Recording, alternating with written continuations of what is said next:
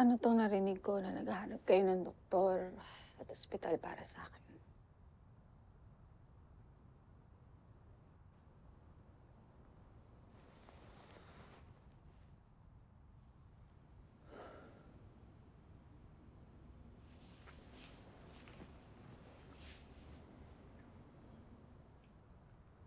Ayoko may pag-away.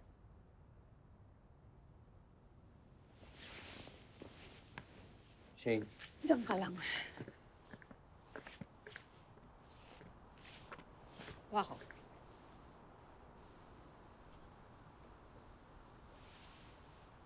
Ano naman kayo? Ba pag-usapan na natin to? Nagdesisyon na ako, hindi na ako magpapagamot. Ano kayong dalawa?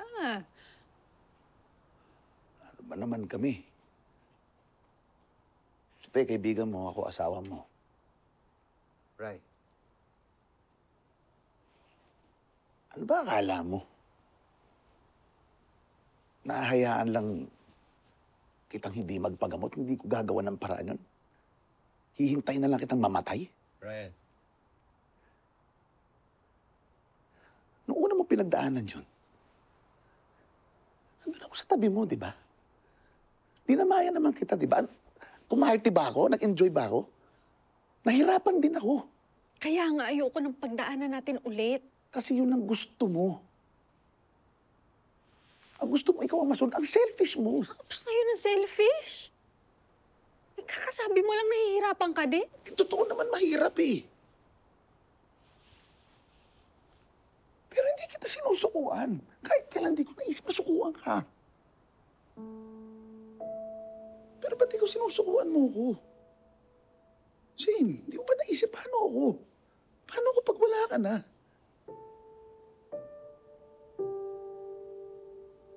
Sa tingin mo ba hindi ako na-unfairan sa nangyayari? Tang ina, natalo ko na tong cancer dati. Ano gusto mong gawin ko? Lumaban ako ulit? Na mahirapan ako ulit? Tayo. Lumaban tayo, mahirapan tayo. Gusto kong ipilit sa'yo na magpagamot ka ulit. At anong kasiguraduhan natin na kapag nagpagamot ako, gagaling ako? Wala. Exactly!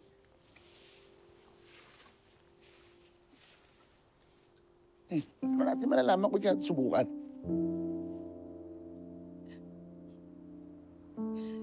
Brian, hindi mo ba nagigets?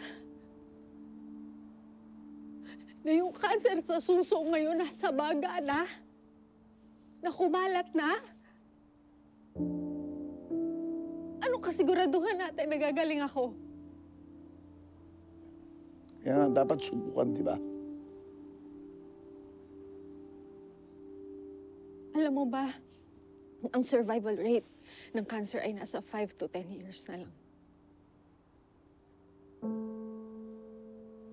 That's five to ten more years with you.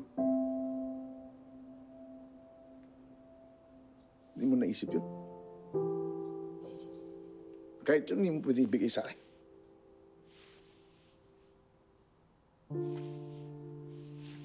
Bray. Brian.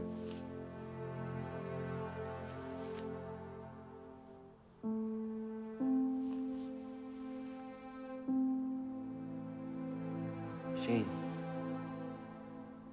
Ang gusto lang naman namin, yung gumaling ka. Dahil mahal ka namin.